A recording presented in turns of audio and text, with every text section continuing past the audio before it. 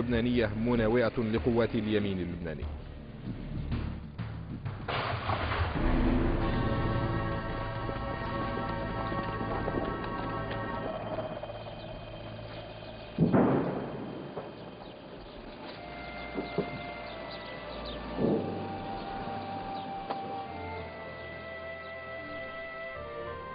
بعث بشير الجميل بموفد لحث الإسرائيليين على التدخل. وقد صارحت الإسرائيليين في ذلك الحين. أنا كما نعلم كما نعرف من خلال اتفاق الخطوط الحمر. إذا حاول الطيران السوري اختراق الأجواء يعتبر هذا إعلان حرب بالنسبة لإسرائيل. الطيارات طوافات السورية تقصف مواقعنا في أعالي صنين وفي زحلة. هذه ذريحة حجة لكم. بموجب اتفاق الخطوط الحمر. رميت هذه الورقة وعدت ليلا هنا. يبدو أن أن الورقة نجحت. فتدخل الطيران الإسرائيلي وأسقط الطوافات السورية. الأمر الذي أدى أن ردت سوريا بإدخال صواريخ سام إلى الأراضي اللبنانية. إدخال صواريخ سام يعني مشروع حرب في المنطقة. فسارع الأمريكيون إلى التدخل. فإذا بهذه الطريقة أمكن تحريك الأزمة. السوريون استخدموا طوافات زودهم بها السوفيت والفرنسيون وقتلوا الكثير من المسيحيين في الجبل. الجبل هو نقطة استطلاع أساسية يمكن منها قصف مدينة جونيا. وجونيا هي الميناء الوحيد الذي يستخدمه المسيحيون. ولذا يكون بإمكان السوريين من وجهة النظر المسيحية فرض حصار على لبنان. المسيحيون يواجهون الآن خطرا داهما ونحن ملتزمون أخلاقيا بإنقاذهم وسوف ننجدهم.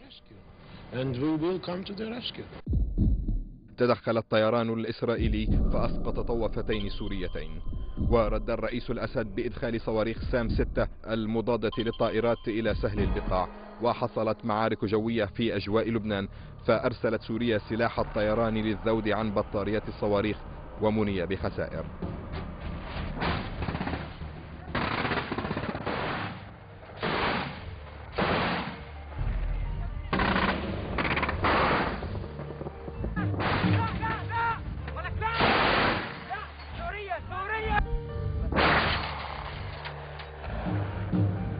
اعتبرت إسرائيل هذا خرقا لاتفاق الخطوط الحمر المبرم مع سوريا عبر واشنطن والذي ينص على عدم السماح لسوريا بإدخال هذا السلاح إلى لبنان.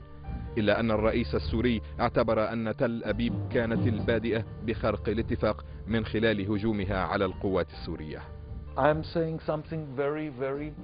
أقولها uh, بشكل جازم وبمنتهى الصراحة. زحلة كانت فخا. نصبه بشير الجميل لحث بيغن على التحرك. شعر بشير وآخرون أن بيغن لم ترق له فكرة عملية عسكرية كبرى في لبنان. ترمي إلى تنصيب بشير رئيسا أو لإخراج السوريين أو لأي شيء آخر. ولذا نصب الفخ؟ ليس لدي أدنى شك اليوم في هذا الأمر. نصب الفخ لحمل الإسرائيليين على التدخل. ورغم أن التدخل الإسرائيلي أدى إلى أول اشتباك مع السوريين فإن أحدا لم يقدر المعنى الحقيقي لذلك. ولكنه على الأرجح أدى إلى تفجير سلسلة الأحداث التي انتهت بغزو لبنان بعد عام.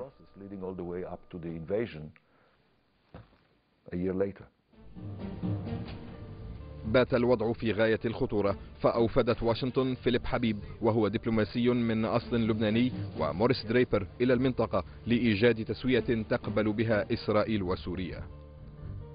تواصلت الحرب الكلامية بين الطرفين فأعلن الرئيس الأسد أن سوريا لا تريد الحرب وأن إسرائيل لم تفصح عن نواياها وأن قواته موجودة في لبنان لإيقاف الحرب الأهلية. فرد بيجين بسرعة. إنني متفائل دائما لكن لا يمكنني أن أتكهن. ما إذا كانت نتائج المحادثات ستكون إيجابية خاصة بعد تصريح الرئيس الأسد في مؤتمر صحفي في دمشق. فمن ضمن أشياء أخرى قال إنه لم يتلقى مقترحات أمريكية من السيد حبيب بل إنه تلقى مطالب إسرائيلية. بداية أود أن أقول بلا باقة إنه لم يكن دقيقا في تصريحه لأنني عارف أن السيد حبيب جلب مقترحات أمريكية إلى السيد الأسد. ولذا فإنني أعتبر تصريحه متطرفا ولا ينم عن نوايا حسنة تصب في خانة إيجاد حل سلمي للمشكلة.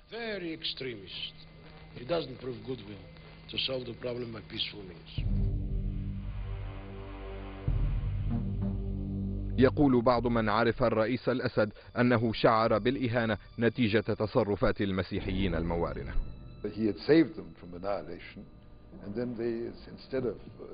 لقد أنقذهم من الإبادة. وبدل الانضمام إلى معسكره استمروا في مغازلتهم لإسرائيل بل زواجهم منها. في أواخر عام 76 أنشأ الرائد سعد حداد قواته في الجنوب بمساعدة إسرائيل. وفي نفس العام أيضا بدأ بشير الجميل بتلقي السلاح والتمويل من إسرائيل وبناء قوة ميليشياته. تعمق التحالف الماروني الإسرائيلي مما جعل الأسد عرضة لأخطار أشد.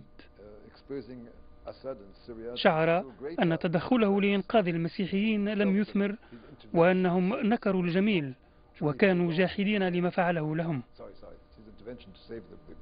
استمروا في تحالفهم مع إسرائيل فرأى فيه خطرا مميتا ليس للبنان فقط بل ولسوريا وللقضية العربية برمتها.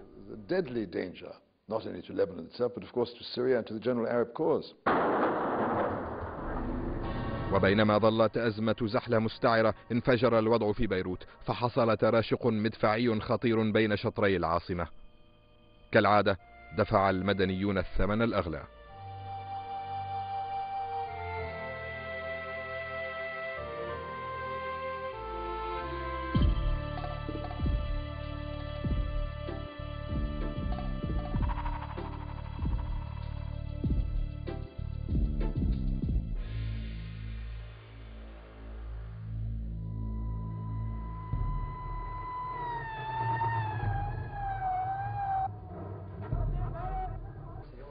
وصل الإرهاب إلى ذروته ليلحق بمرتادي دور السينما حيث كان بعض المأجورين يترك عبوة ناسفة ويغادر المكان.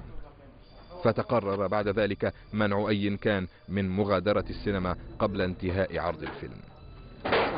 هذا هذا